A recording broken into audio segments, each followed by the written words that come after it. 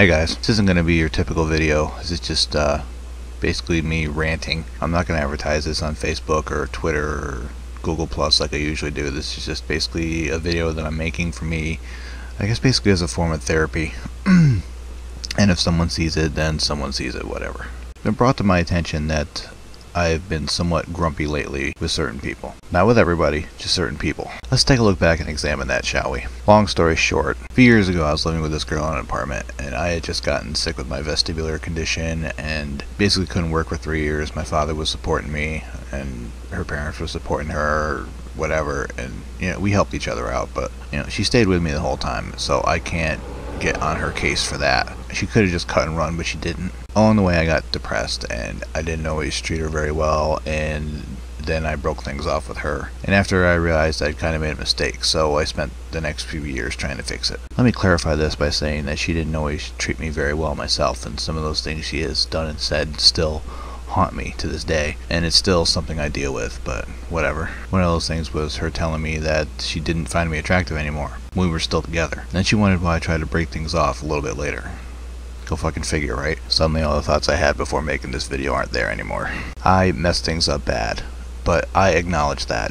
I was a man about it and I accepted it, and then I spent the next three years trying to make things right. I changed virtually everything about myself. I grew my hair out more because that's what she preferred. I wore the type of clothes she wanted me to wear. I listened to the music she wanted me to listen to. I watched the movies and TV shows that she wanted me to watch. Well, on the other side of the coin, she was virtually ignoring videos that I sent her and laughing at things I wanted her to read or listen to or whatever. But I took that for about four years. Along the way, she kept giving me signs that maybe it would work, even though she was saying, you know, she was telling me not right now, maybe in the future, it's not going to work right now, blah, blah, blah, blah, blah. But then she'd hold my hand while we were watching fireworks at the Great Escape. More than one night that we spent together, we had to share the same bed, and she's I was actually making an effort not to touch her because I felt like it was inappropriate. And she's like, I didn't say you couldn't hold me.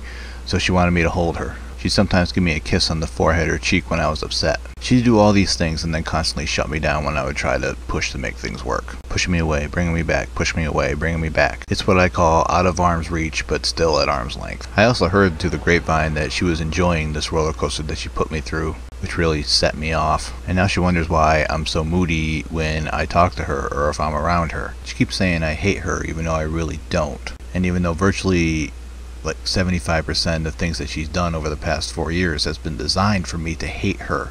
Like she's been trying to make me hate her. She's even said it. You should hate me. I'm trying to get you to hate me. I'm trying to annoy you, blah, blah, blah, blah, blah. Of course, now I'm annoyed and being all moody, and she's all upset about it. But let's talk about support for a little bit. I've tried to support her virtually every step of the way, even though she doesn't really listen to what I say or give a shit about what I say. She used to support me in the very beginning, she supported me a lot. She, you know, I know I did it, but she kind of pushed me to get my GED. She pushed me to write my book. But now, these days, when we talk about support, your best friend supports me more than you do. I wrote a book, some of you know, not that long ago. I wanted her to basically be my beta reader, but she refused to do it.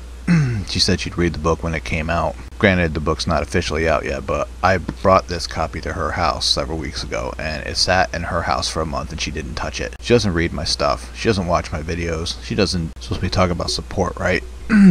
what a bunch of bullshit. It just makes me so angry now, and I, I know I should be over it, but, you know, people that know me know that that's not easy for me. People, things from the past always creep up on me all the time. I can't always shake off the past. You know, she wanted me to do this, do that, like I said, wear this hairstyle, wear these clothes, do things the way she wanted to do them, and then she turned around and tell me that she wants a man that can think for herself. Um, fuck you, I did that the first four years of our relationship in the apartment, if I remember correctly. You could barely make me do anything, I did things the way I wanted to do them, so your statement contradicts itself. I know my living situation isn't necessarily ideal, but let's face it, it doesn't fucking matter, does it? You never had any intention of working things out. You just wanted to string me along and hurt me like I hurt you, and even though I tried...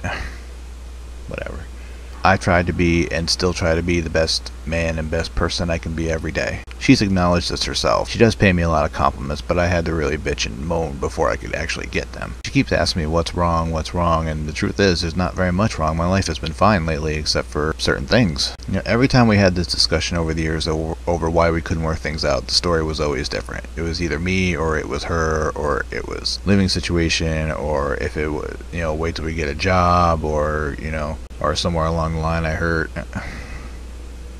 Basically, in my eyes, she's mad that I'm not her little fucking cat toy anymore. And that's just tough shit. I'm no one's cat toy. I am no one's doormat. I am no one's slave. I've worked hard to get to where I'm at, and I'm not going to let anyone tell me any differently. I may not be the best father in the world, but I try, and my children love me, and that's what I care about. not what some self righteous, snake tongued person thinks.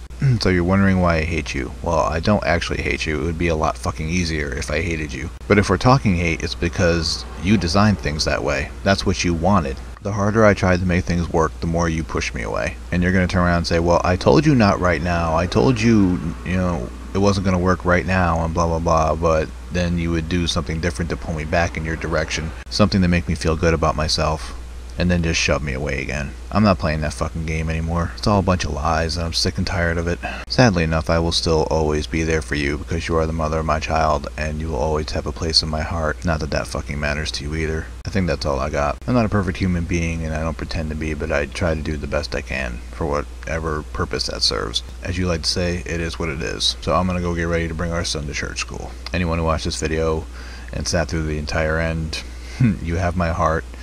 I know it wasn't an entertaining video. I know it wasn't one of those videos to put a smile on anyone's face, but it's just basically a therapy video for me. So if you did watch it all the way through, then I I appreciate it. Yeah, I guess that's all I got. Just remember, it's Bobby's world, and you're all just living in it. CLC for life, y'all. Bye.